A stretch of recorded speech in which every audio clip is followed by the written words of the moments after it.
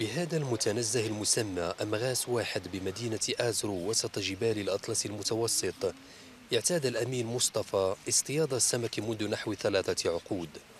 بمهارة يترصد حركة سمك التروط الأكثر انتشارا في المنطقة قبل أن يوقعها بسنارته. كل شيء فرحان كل شيء كيصيد. وهذه هواية كنديروها من زمان والعدد ديال الصيادة كيتزايد سنة بعد أخرى.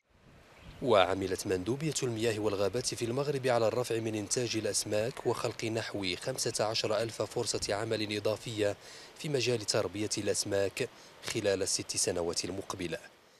بحيرة المدينة تشهد عملية دورية لإضافة الأسماك تشرف عليها وحدات متخصصة تابعة لإدارة المياه والغابات. المغرب كيتوفر على سدود على بحيرات طبيعية على مجاري المياه.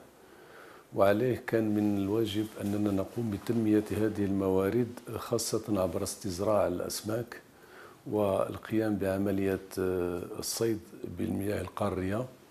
اولا لضمان الأمن الغذائي بالنسبة للعالم القروي لأن هذه المواد كتشكل يعني ما يعني مصدر مهم جدا بالنسبة للتغذية. في المركز الوطني لتربية الأحياء المائية في آزرو يتم تفريخ بيض السمك بمختبرات بيولوجية متخصصة ويعتبر المركز الوحيد المتخصص في إفريقيا بتربية الأسماك في المياه العذبة كما يعمد إلى تربية أنواع نادرة من الأسماك وأخرى يتم جلبها من خارج المغرب.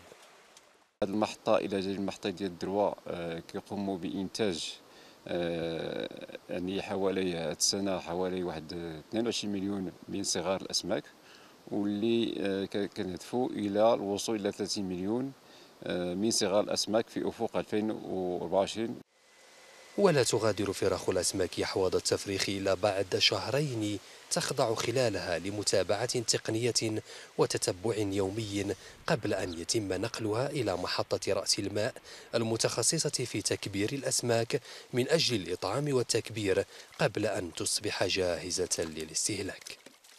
وتسعى الإدارة الوصية على المحطة إلى الرفع من إنتاج الأسماك إلى نحو 50 ألف طن سنويا بحدود العام 2024 بشكل يستجيب لحاجيات المنطقة الغذائية.